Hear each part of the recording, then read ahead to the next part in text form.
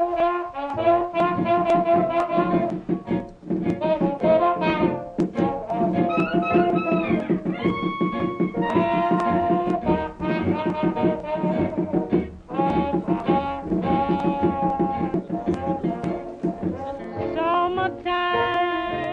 Dunkers kulturhus i Helsingborg visar man året ut en stor utställning som heter Människans natur med en massa föremål ur eh, museets samlingar. Och första tanken när man går in där är herregud vad är detta för någonting? En massa knepiga prylar från borgerlig kultur vid förra sekelskiftet. Andra tanken är vad är det museer sysslar med när de samlar på sånt här?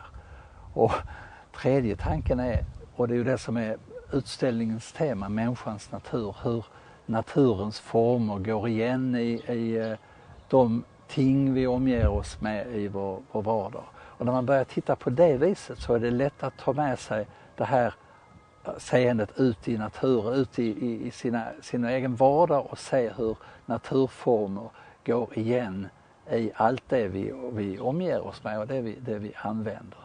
Och, och det här är ingen utställning som man, om man bara störtar igenom den så kan man tycka den är, är, är svår och, och eh, instängd men den har mycket mer att ge än vad man kan tro.